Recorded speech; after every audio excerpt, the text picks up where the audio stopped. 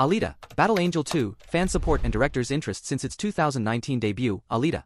Battle Angel has garnered a massive fan following, with audiences eagerly anticipating a sequel. The film's director, Robert Rodriguez, has expressed continued interest in the project, and his commitment is mirrored by the dedication of the cast, including Christoph Waltz and Rosa Salazar. However, the acquisition of 20th Century Fox by Disney has cast uncertainty over the future of the sequel, as the decision to greenlight the project ultimately lies with the new studio. The first film left many questions unanswered, setting up a potential sequel that would delve deeper into the rich world created in the first installment. The film's captivating story and unique characters have left fans yearning for more, leading to speculation and fervent hopes for a follow-up. Robert Rodriguez and James Cameron, who co-directed the film, had plans for a complete story arc, with Cameron providing extensive notes for a potential trilogy.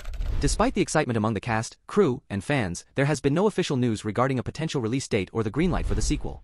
While there is no official trailer or footage yet, fans are encouraged to show their support for the franchise by voicing their desire for a sequel to Disney, the new owners of 20th Century Fox.